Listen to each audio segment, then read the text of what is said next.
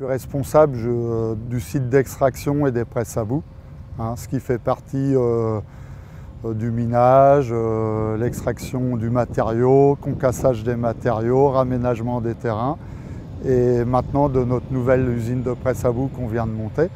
On est sur les communes de Praville, mais le site il s'appelle Rougemont. Donc vous avez les presses à bout.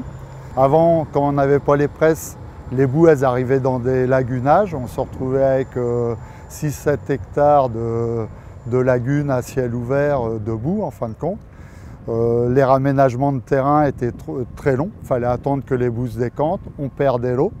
Et maintenant, avec l'usine, toutes les boues, elles sont amenées à l'usine. Elles sont pressées. Toute l'eau qui a été pressée, elle est stockée dans les bassins et elle repart en recyclage sur le site pour traiter les matériaux.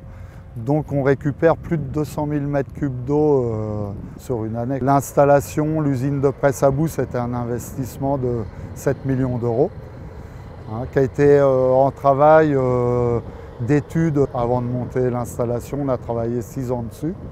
Sur les carrières, c'est les seules presses à bout de cette dimension qui sont montées sur un site de carrière. On est les premiers à innover.